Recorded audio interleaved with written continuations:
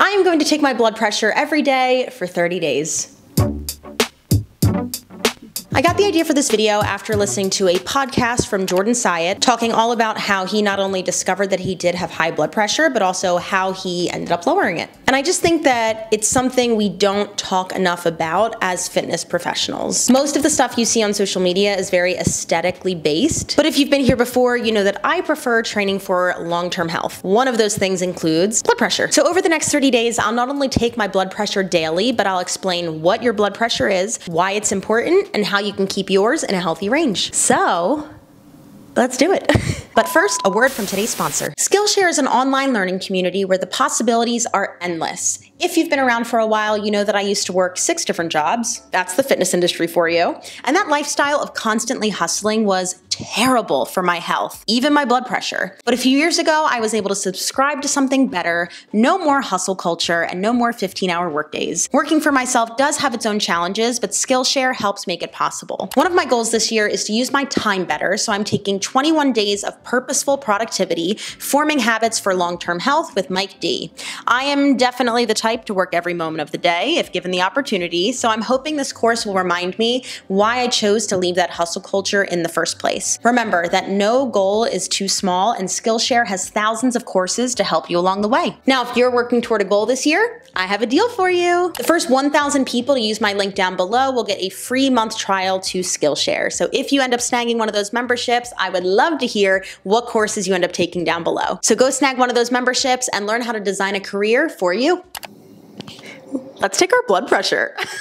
so it is day one. Yes! It comes with batteries. I was worried about that. It is day one of taking our blood pressure every day. And for our first day, we're gonna just simply take our blood pressure, see what our starting point is at, and then as the days roll on, we'll talk about what your blood pressure is, why it's important, how to reduce it if it is a little bit too high, all that good stuff. I purchased this myself on Amazon. I'll link it below.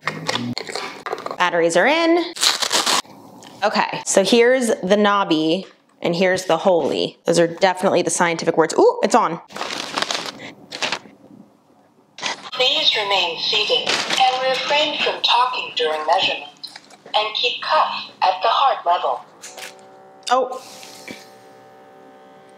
Error. Please take measurement again. Yeah, give me a sec, lady. Do I, if it goes, which way? Am I stupid? Is this not right? Oh, it's stuck. Am I doing it the wrong way? Mm-hmm. My God, I'm gonna need help. Okay, she's on. Here we go. So you press the little button. Please remain seated and refrain from talking during measurement and keep cuff at the heart level.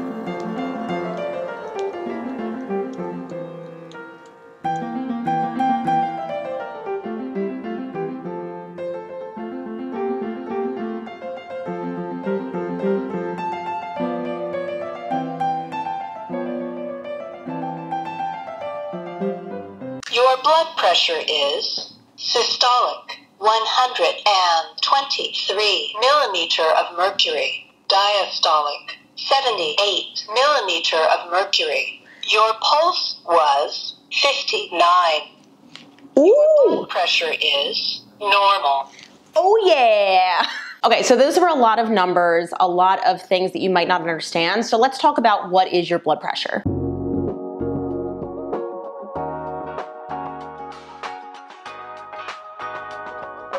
Blood pressure is the pressure of circulating blood against the walls of blood vessels after the blood leaves the heart. How many more times can I say blood? your blood pressure is essentially how intense your blood is pushing through your body. And there are two different numbers or parts of your blood pressure, systolic and diastolic. Systolic is the top number and it's the pressure in your arteries after the heart contracts. Diastolic is the bottom number and it's the pressure in your arteries while your heart is resting and refilling with blood. Now, a normal blood pressure is agreed to be somewhere around 120 20 over 80. But why is it important?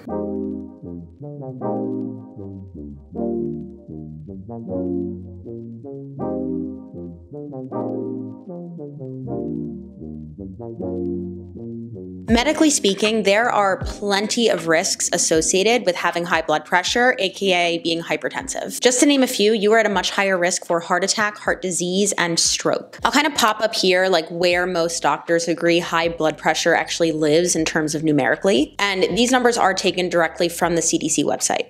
Now, if you're like me, you'll probably hear things like risk of heart attack, risk of stroke, and just kind of be like, not me. It couldn't happen to me. Like those things, especially when you are young, feel very like far and out of reach. But here's the statistic that scares the shit out of me. If you are 35 years old and you have a blood pressure of 150 over 91, your life expectancy is 55.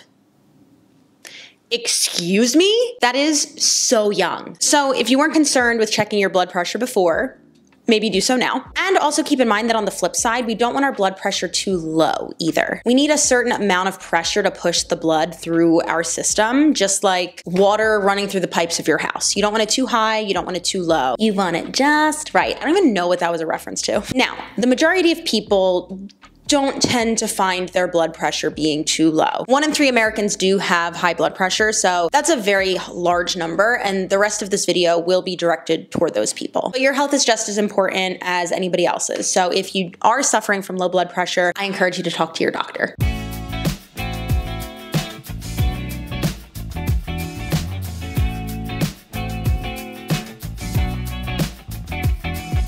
Now, luckily, in most people, high blood pressure can actually be lowered by simply changing our lifestyle. Yes, there are absolutely people who are genetically predisposed and will actually benefit by being put on some type of medication. But with most people, it is typically recommended to try adjusting lifestyle changes that are within your control first. First thing that's recommended is movement. The general recommendation is 150 minutes of exercise weekly. So if you want to break that down, it's like 30 minutes five times a week. And this can be anything from formal exercise like like strength training, you can go on daily walks, aim for 7,000 steps daily. And if you currently have zero movement in your routine, I just encourage you to pick one thing, start small, and build from there. The next recommendation is looking at your diet. This is definitely a tough one for people, but it is beneficial not only for your blood pressure, but for your overall long term health. You can do things like reduce your alcohol intake, lower your sodium intake, make sure that you're getting enough micronutrient rich foods like vegetables, fiber, get in some lean protein and really understanding how to prioritize balanced meals most of the time. Another recommendation is regarding smoking.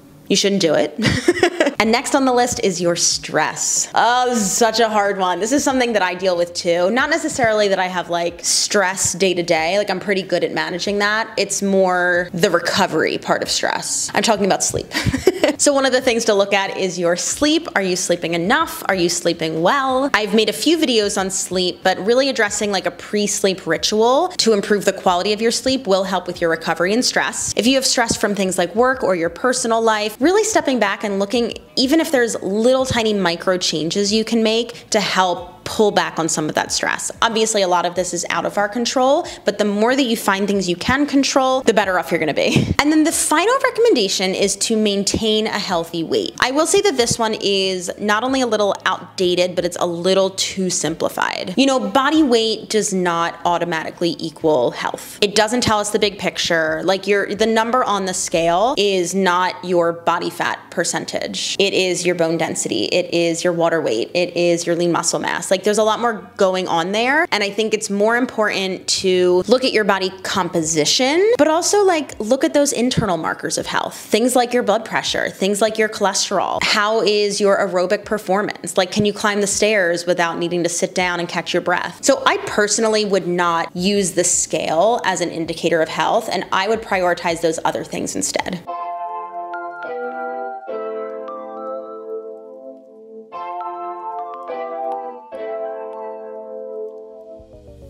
Do you need to take your blood pressure daily? Absolutely not. That part of the video is like for pure entertainment and some nice fancy transitions. But if you haven't taken yours in a while, I would highly recommend you do so. Go to your local drugstore, they probably have a machine. If you can afford it, you can buy a little one online. I'll leave mine that I got linked down below. If you have a doctor's appointment coming up, make sure they check it there. And remember that even though lowering your blood pressure through lifestyle changes sounds really simple, right? Eat well, stress less, move more, those things can be really difficult to implement. So if you're having trouble implementing those things into your life, I do probably have a video on it, but you can always leave me a message down below or shoot me a DM on Instagram and I will be sure to try and help out the best that I can. Make sure you guys hit that subscribe button so you don't miss out on future videos and I will see you all in the next one.